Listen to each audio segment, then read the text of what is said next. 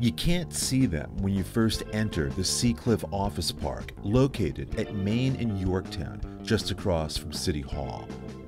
But once you find the paved walkway, you will be led back to one of Huntington Beach's most incredible historic landmarks.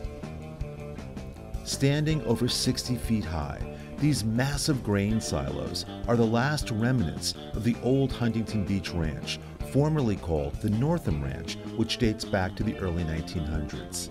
The eucalyptus trees surrounding them are also original. The silos represent one of the most important connections to Huntington Beach's past, when farmland and agriculture commingled with oil wells. The silos were saved by preservationists decades ago and are one of the true hidden treasures to be uncovered in Surf City.